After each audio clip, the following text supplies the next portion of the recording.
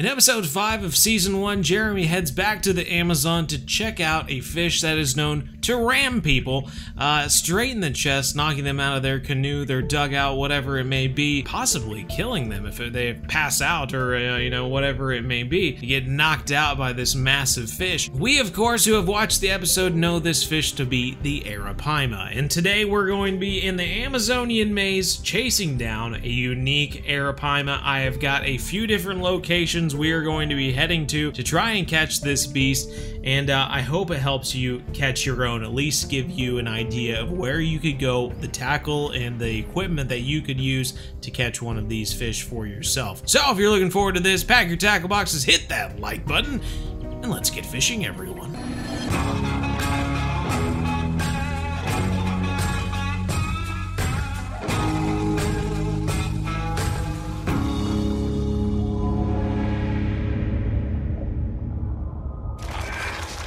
Our first location is not far from the boat docks themselves, and in fact, it's in this little draw here, uh, inlet, what have you.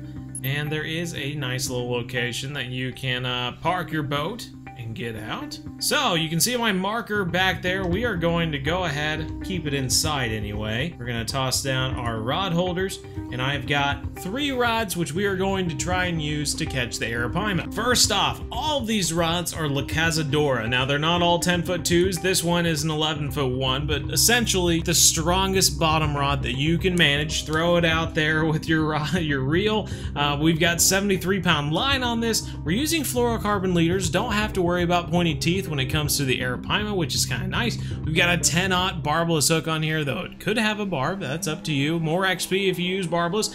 And we are mixing it up. We've got an Araku minnow on one, and we've got large minnows on the other. I like these two different baits for going after uh, Arapaima, though. Depending upon the person that you talk to, will depend on which one they say. I know a lot of people like the large minnows, but I have a feeling that you can catch them pretty well in the Araku minnows as well. So we're going to toss out both of them. So, being the uh, unique Arapaima, I mean, we could possibly in for, be in for quite a fight. I'm going to toss this guy out. I am used to fishing for the Arapaima with match rods, but figured we would give the bottom rods a chance since uh, evidently people catch them pretty well on bottom rods too. So uh, let's toss these out. And if we have uh, room, I guess we do, we might as well throw a match rod out there too just to see, uh, see which one's the best, I suppose. All right, we've got our match rod all figured out here. We are gonna toss it out. We're already seeing some ripples on the water and there goes the bottom rod. Alrighty, well that is one fish. I can see our bobber now. Okay, yep, that is a decent sized fish. Meters are going crazy, which is a decent indicator of a, uh, of a unique, but uh, who's to say with an Arapaima, this could just be a wily Arapaima too. So uh, let's fight this guy and uh, see what we have on the end of our line here. Now we do remember the Wels catfish from the previous episode did take out a little bit of line and it was 75 pounds. I assume this Arapaima is going to be much bigger than that and that's why he is taking out a lot more line. Luckily, we are prepared for this. Um, now I don't know if this is going to be an uni, but will give us a look at uh, how much fighting we're going to be doing. Yeah, it's definitely not uni. But for the amount of fighting we just did, let's see what we have here. A young Arapaima of only 68 pounds. So even lighter than the wels we just had. That is a good sized fish, everyone, and a good start to chasing down this monstrous fish. Let's keep him for old time's sake and uh, wait for another fish to come along, I suppose. And there goes the match rod. Come on, Heenil. Oh no, and there goes the bottom rod as well. This could be interesting. I foresee a lot of beeping in my future. Don't want to. Ooh, that actually looked like a pretty decent size one. It hopped out of the water. It's got to be decent anyway. Had him in the 40s for just a moment. Now he's uh now he's taking us out to 80. This dude in the 30s now. Come in here, yo. There we go. Got one of another young Arapaima. 76 was that? Oh no, no, we got another one. We get this guy in real quick. Come on, man. Get in here. Little flip. Flip onto the flip onto the ground. Another young Arapaima. Golly, three young Arapaima in a row. This guy pulling out a little bit of line, but we are fighting him. They really don't have anywhere to go when they're in that inlet. Got him skating up on top right now. Must be another young Arapaima, and that is exactly what it is. 77 pounds, and it's just crazy to call these guys young when they are this big. 77 pounds, though, man. I mean, we only have one match rod, and we are catching him on the match rod pretty consistently. This dude is just taking out line. There's like nowhere for him to go in that inlet, so he still took us out to 160. That's crazy. This is crazy. Roll yourself into here, buddy. Can't fight when you're on your side. hey, look at that. We've actually got our first normal size Arapaima, though we still haven't gotten into trophies or uniques. So this is a regular size Arapaima, 126 pounds, which is still pretty cool. Uh, and we can get a good look at him. That is pretty neat, everyone. Let's go ahead, we'll keep him. And uh, I think it's about time we move on to another area. I got a lot of different spots to try out for Arapaima, so let's get in the boat. Let's uh, change spots and see if maybe a change of scene is all we need to uh, track down one of these monstrous fish. This old boat's really struggling to get through some of these uh, narrower passages, but we are pushing through. Alrighty, as we approach this uh, second area here, this is actually uh, a place I've known to catch uh, electric eel, which is right back there in that cove there. But if we take a look at the map, we can see we got the unique electric eel, which will come in a later episode, so don't want to spoil it, I suppose. But this is another area that we've got Arapaima in in the past. So let's go ahead, toss down our rod holders, see we can get one of these fish in. So, while we battle this guy, um, the, the heads on these guys, it's just crazy. I've heard that it is just solid bone, and that uh, really, if they were to come at you, you know, hopping over the water, and we saw this in the episode with Jeremy Wade, as they jump out of that water, basically, you better watch out, another young Arapaima, because if you are in the way, they are going to take you out. A bunch of solid, just bone going straight into your chest, to your head, whatever it may be. You might have some cracked ribs. Uh, you'd be bruised at the very least. But to think of one of these dudes coming into you, and we know that Jeremy got hit by one of them. Uh, man, that's just, that is rough. Get this guy in here and start reeling in that other rod. Get in here, buddy. There we go. Oh, regular size Arapaima again, 2,700 pounds. This is on the match rod now. Match rod is pulling its way. I tell you what, we only have one of them out there. I might end up switching to doing two bottom rods and two match rods. Seems like we have three bottom rods out there, but we are catching them on the match rods pretty quickly, honestly. Alrighty, looks like we've got him on his, his last bit there. Top notch. Oh no. Oh no. Dare we say, dare we say, the first Araku Minnow just got taken. But by what? It looks so small. A freaking piranha. Well, that shows you how good the Araku Minnow is, I guess. There he goes. There he's taking air. Oh, that's awesome. And here we go. We're skating him up on top. Must be a very young Arapaima here. And that's what he is. Getting near 1,000 XP for each one of these, though, which isn't too bad at this level. I think we're going to throw out two of these rods, and we're going to throw out two match rods as well.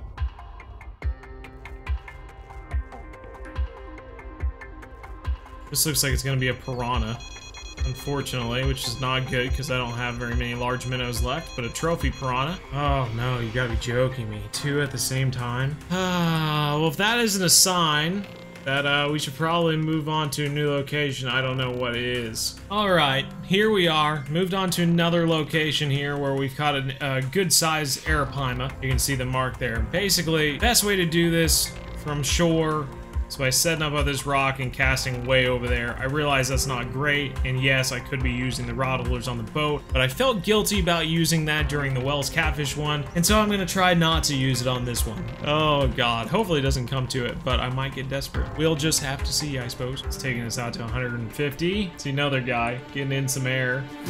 That's so cool. It always feels good that you think you might have a good fish on when it takes you out to 190 feet, but you never know. He's certainly certainly putting up a fight. I have a sneaking suspicion that we're going to get him in here and he might be our first trophy versus uh, our first unique. Ooh, he's coming straight towards us now. Taking in a lot of line, which is great. Great retrieval on this reel here. Oh man, for a fish that's had us out at 160 for like I don't even know how long. It feels good to see him just uh, double digits right now. Looks like a good sized fish. I still, oh, I still don't want to get too excited though. I have, I have a big feeling that we're gonna get him in here and it's gonna say trophy.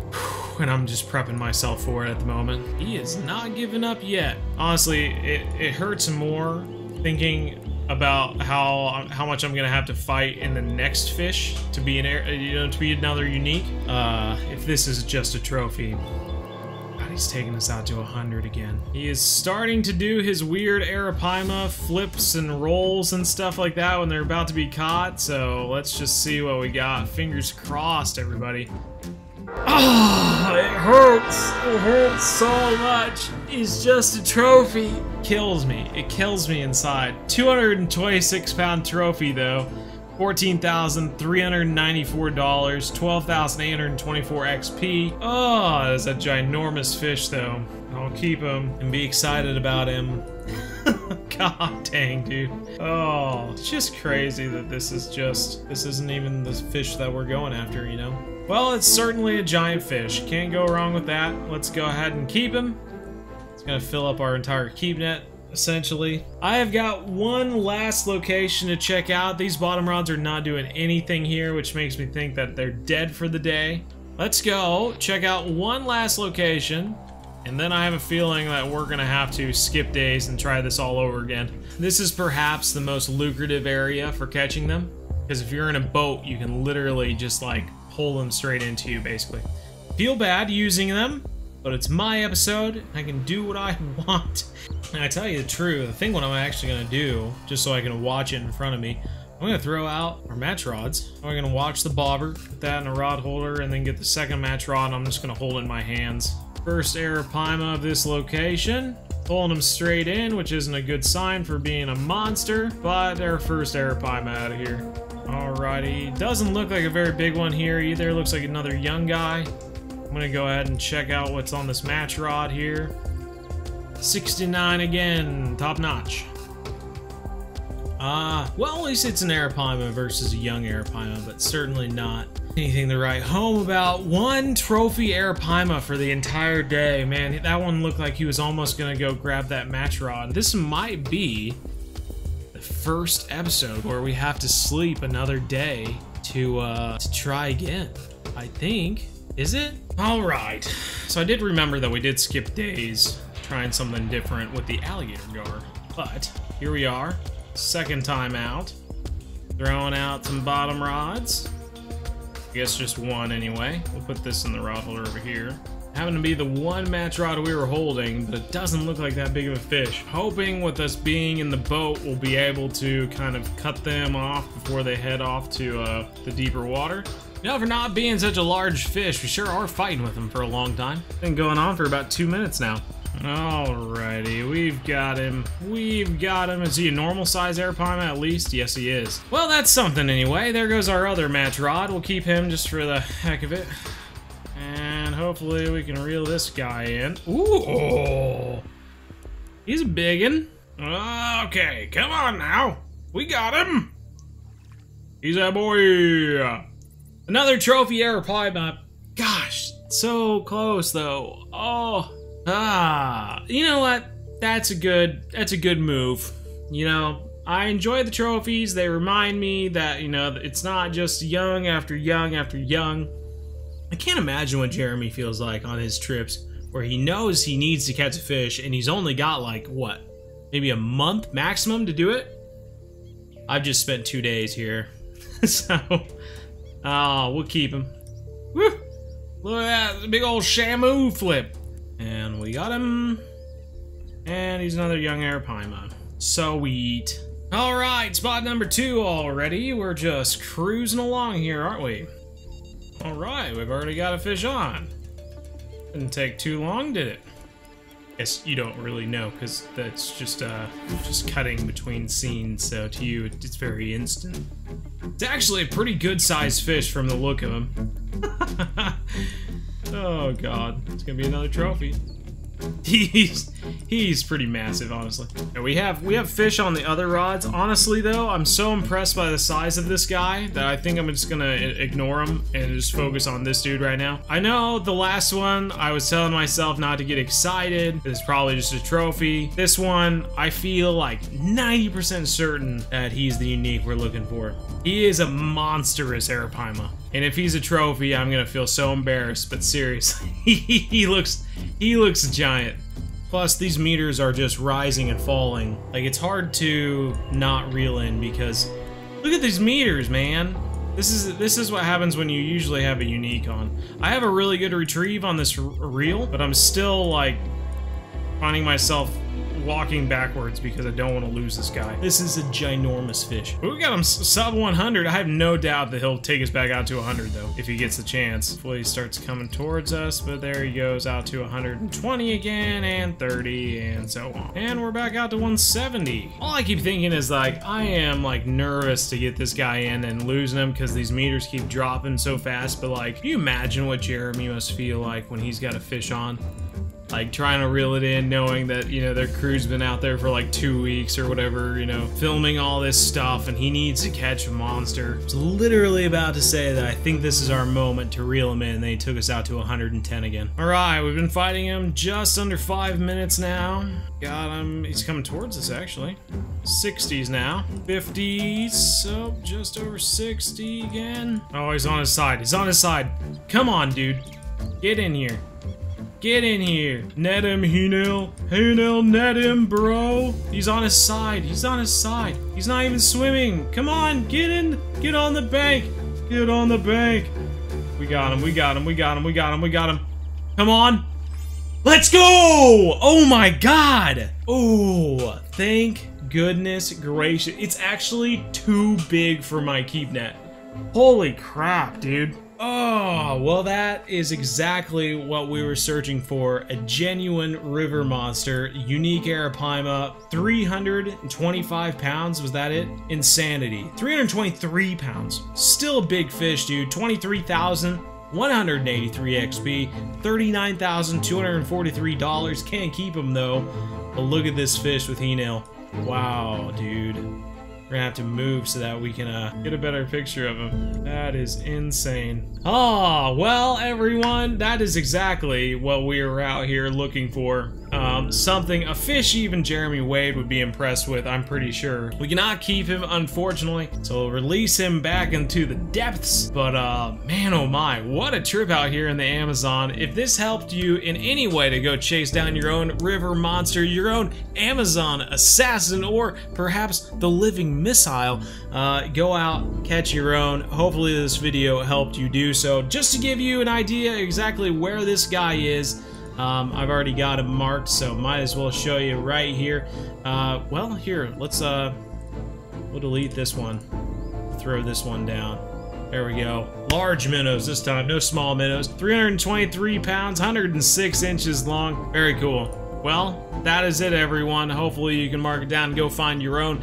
Use some large minnows, 10-aught hooks, and uh, go get them. I'll show you exactly the weather that we were using as well, just so that you know. There you go, right there, everyone. Right on that big old hill. So, anyway, if the video was helpful, make sure you hit that like button. If you want to see more episodes of the River Monsters series or just any episodes like this in the future, make sure you hit that subscribe button and the bell so that you get notified whenever a new video comes out. And if you want to check us out on our live streams every Monday, Wednesday, make sure you do so, 7.30 to 9.30 p.m. Central. Um, check us out. Come join. It's a lot of fun. We have up to 200 people sometimes just all chatting about fishing and Fishing Planet. It's a blast, and I hope to see you there in the future. But until the next episode, everyone, take care. And as always, remember everyone, we're one planet, one family. Game on.